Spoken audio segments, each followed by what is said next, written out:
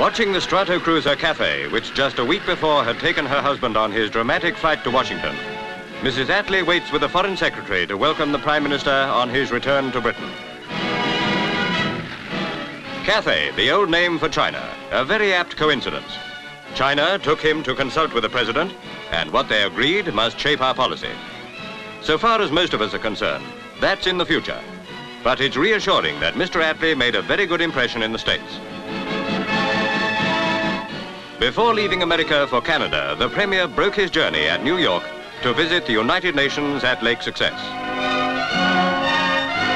Escorted by the Secretary General, Mr. Trygve Lie, Mr. Attlee sat next to the current president, Mr. Entezam, and reaffirmed his faith in UNO.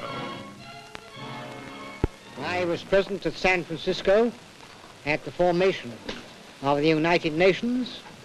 I was present at an early meeting in London, and I'm quite convinced that we all have to stand together and make the United Nations an effective organization if we want to preserve peace in the world, happiness for mankind, and to lift fear from the common people.